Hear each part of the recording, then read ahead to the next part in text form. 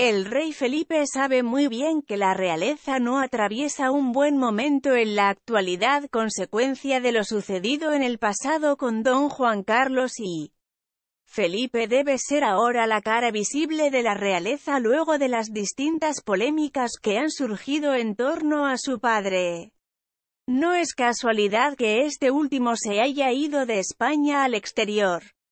Muchos opinan que la decisión del padre del rey de irse corresponde a una estrategia para aliviar la presión mediática en contra de la corona española.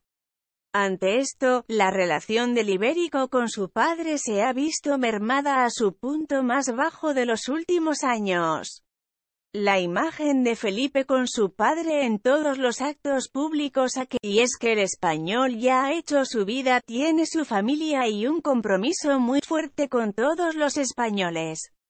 Su decisión de quitarle a su padre la asignación anual ha generado roces entre ellos.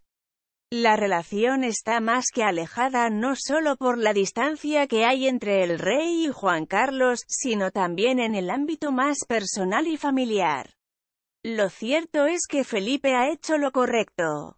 No obstante, la experiencia de Juan Carlos ha resultado positiva de cara a los medios, ya que ha bajado la tensión que existía sobre la corona y Felipe. Sobre todo después de las noticias referentes a Corina Larsen y los millones de euros proveniente del mundo árabe.